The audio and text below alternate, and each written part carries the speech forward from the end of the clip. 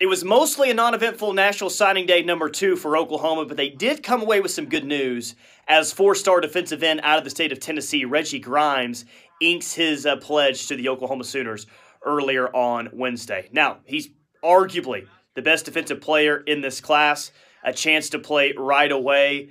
And overall, a good class for Oklahoma. 23 players in this class. 247 Sports has it as the number 11 class in the country. Chandler Morris is in this class, who is the son of Chad Morris, former Arkansas coach, Auburn offensive coordinator.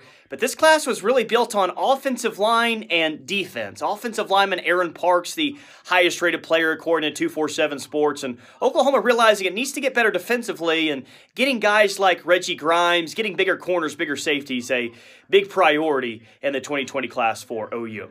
With Fan Media in Norman, I'm Tyler McComas.